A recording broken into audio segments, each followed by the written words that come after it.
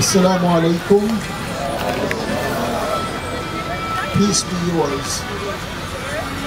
Uh, I'd like to begin by saying I'm going to try to condense my ideas.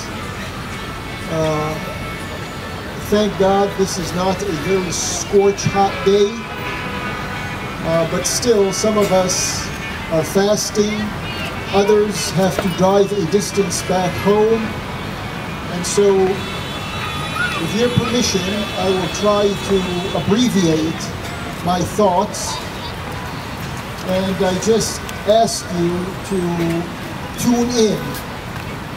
There's that tendency sometimes to wither off in some direction when someone's speaking. I just want to hold your attention for the 10, 15, or 20 minutes that I have so that I can make these points. And I'm going to be very frank, and if I step on someone's nerves, uh, I'm subject to correction. If I'm wrong, you come up to me after my word and you correct me. Uh, no one is infallible here. We're speaking about the issue of Palestine or the Holy Land or the colonization of, of Palestine. I want to go a step further and go beyond the mass media and jump over the word occupation and dare call it colonization. We are dealing with a colonization of the Holy Land by war criminals and by those who are committing crimes against humanity. This is not an occupation. This is a colonization. And many countries in the world got rid of their colonial administrations, and it's the time is coming when the world has to get rid of the Zionist colonization of the Holy Land. That's number one. Number two, justice is a concept that is not a monopoly of any religion or any ideology. Justice is a norm that can be identified by anyone belonging to any ideology or belonging to any religion. Justice stands on its own. And if there is an ideology, whether it's racist, or Zionist, or imperialist, or whatever its nature, if there's any such ideology that stands between you and the acknowledgement of justice, you have to know something is wrong.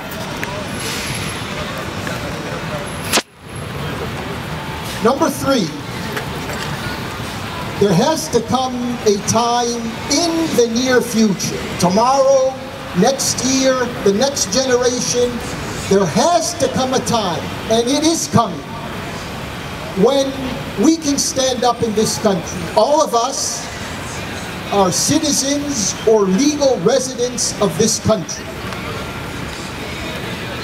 That moment has to come when we can say with confidence and in the honor of justice that there has to be a dis-Israelization of this government here in Washington, D.C. That moment has to approach. Why is any, why, why are people afraid to say this? The first step in the right direction is to voice and to articulate this truth. This government here on Capitol Hill, in the executive, wherever it is, this government has to be freed of the Zionist control over it. Now these may be words coming from the future, but it's long overdue for you and me to acknowledge this has to happen. And don't call anyone a Muslim terrorist or a radical or an insurrectionist or a troublemaker or whatever you want to call them.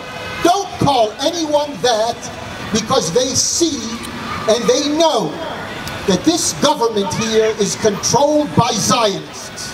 Why can't anyone say this in public? Of course, you're not going to be invited to CNN, the mainstream media, and these other places. To heck with them.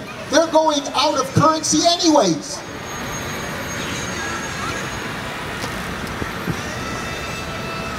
In the last year, the war criminals in Tel Aviv and all of that hierarchy and the echelons there, they prosecuted 700 Palestinian children. They physically abused three out of four of those children. Now you heard in the previous presentations, you heard how vile that regime is in, of all places, God's holy land on earth. I would like to penetrate a little into the conscience of those who say that they are Muslims and those who say that they are Christians and those who say that they are Jews. I'd like to penetrate for one moment inside your conscience, wherever you may be, to ask you sincerely, how do you agree with the atrocities and the war crimes and the crimes against humanity that are committed systematically in the Holy Land? If you agree with that, you need to be examined. USAID, this is also a subject matter that stays off the public radar. USAID officially now, forget about other channels, officially the US government, since the colonization of the Holy Land by the Zionists, the U.S. government has given that criminal regime $150 billion. Recently, someone made the remark that the U.S. is paying Israel, officially on the records, $3.1 billion a year. Here, take it. It's yours. That's our tax money. And that figure stands to be corrected. It was in previous years $3.1 billion. Now it's $3.8 billion. And we're not speaking about the charities and the donations and whatever else money is funneled in to that killer regime. We have a president now in the White House who has capitulated. Let me tell you this president. This president has a daughter who is Muslim, a son-in-law who is Muslim, another son who became a Muslim. All of these became Muslims. Now you know that's not correct. None of those are Muslims. But imagine, when Obama was president, these types now, who are in control of the government, they made a big issue that Obama is a closet Muslim, that Obama was born in Kenya, that Obama is this and Obama is that. The poor man was trying to do his job the best he could given the chains and the whatever was around him. This person comes out in your face and he endorses everything the Zionists want him to endorse bar nothing. And we're supposed to be looking the other way. Nothing is happening. They're planning a war, and we're supposed to believe nothing is happening. He's cutting aid. He's giving the Israelis the money that they want. It's a shame that the Zionists have stolen the word Israel and sort of monopolized it and are force, forcing us to say Israelis. Be that as it is, he's cutting from UNRWA, that's the United Nations Relief Organization that is running schools for these poor orphan Palestinians. He chopped off, I don't know, $65 million from their budget. He chopped off around $200 million from the Palestinian Authority. These are the ones that were toeing the line. And that's not enough for his Zionist bosses. They want more. You, genuflect, you genuflect for them, they're not satisfied. They want you to prostate for them. Furthermore, he goes and he cuts off $900 million to Pakistan. He's showing us his true colors, and these are obvious signals of what is to come in the years that he's supposed to be ruling. The Palestinians are suffering from home demolitions, arbitrary arrests, detentions, revocation of residency. They're treated like, I mean, this is the problem. I, I don't want to get, as I said, I, I sincerely admire every observant Jew, Christian, and Muslim. Because in this context, we have our problem. Don't think that Zionism is only a Jewish problem. Zionism is a Christian problem, and Zionism is a Muslim problem.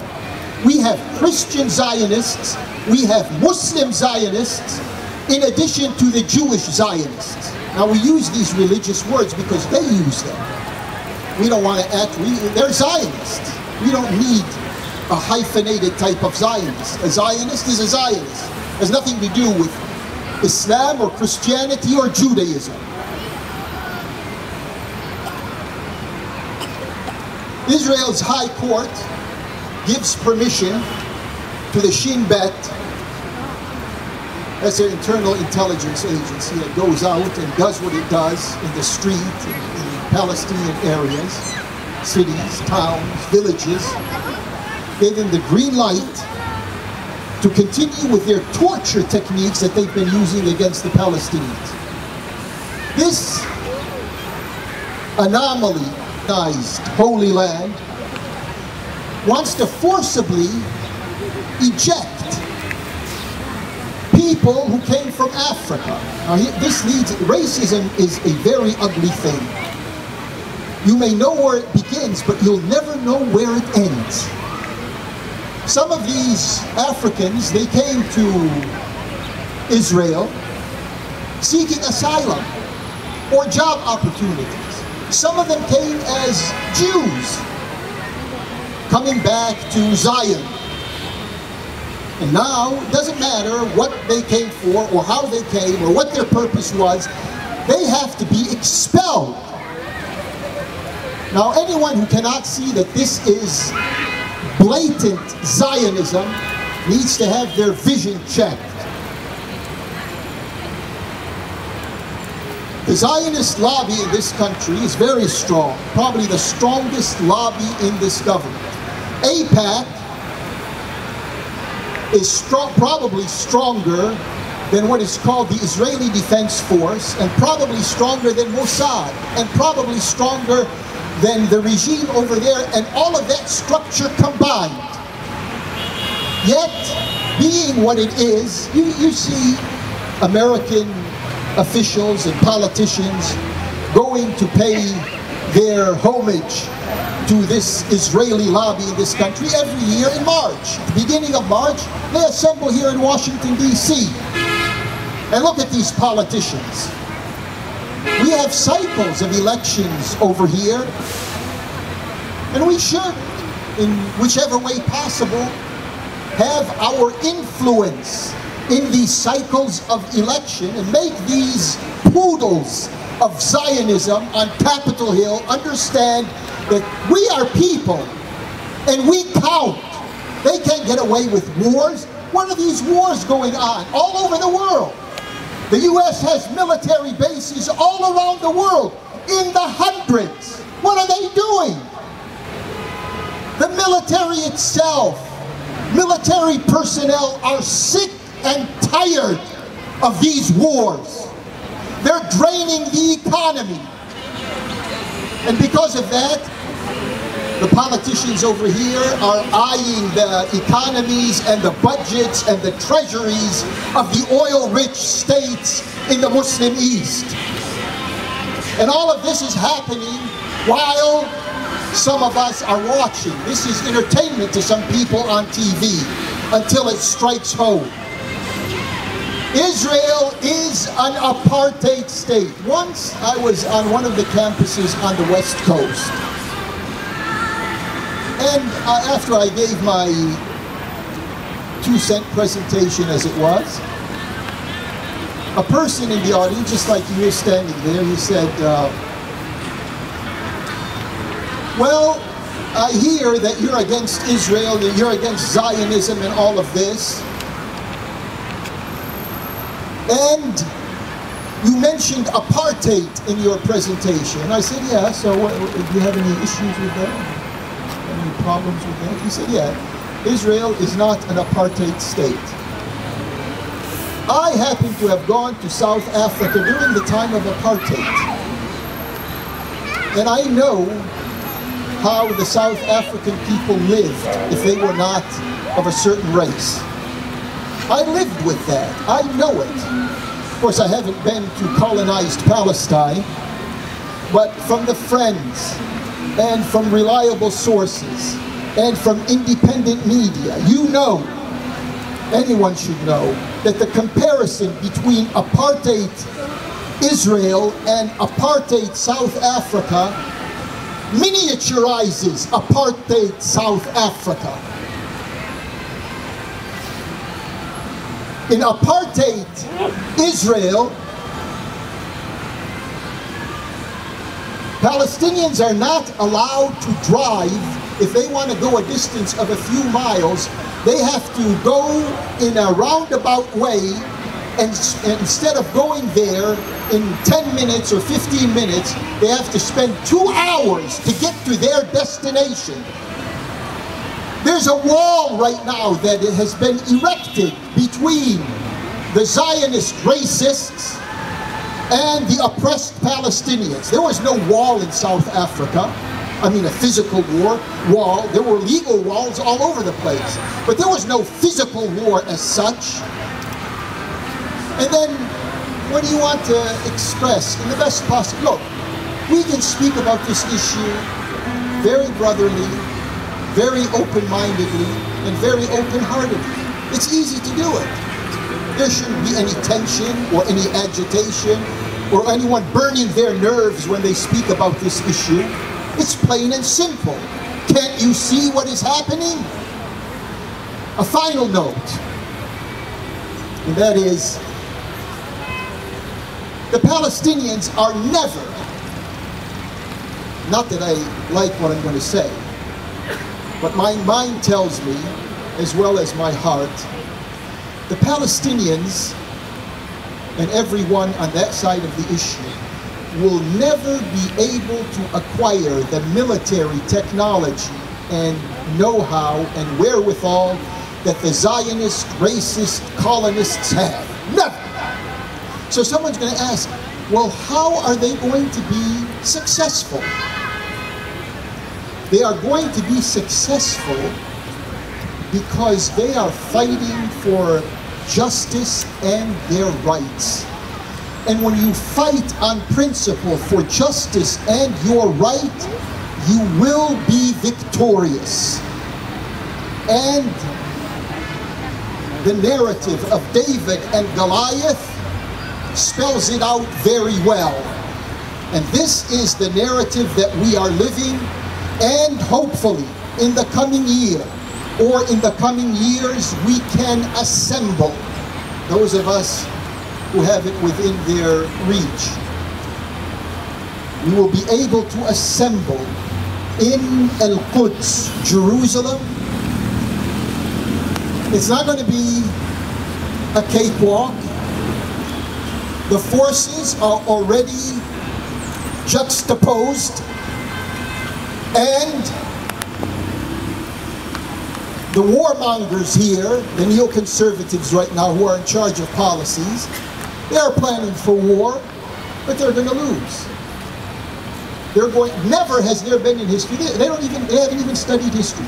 Never has there been in history a country from one part of the world that went to another part of the world started a war and stayed there in a victorious way.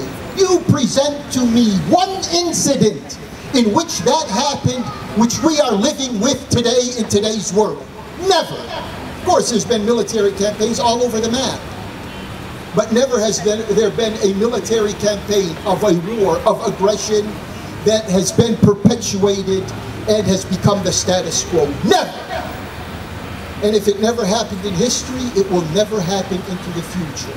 What we are living with now is an anomaly, and the Zionist, colonist, co the colonial force in the Holy Land shall be dislodged. We prefer it be dislodged peacefully, but they don't prefer it that way.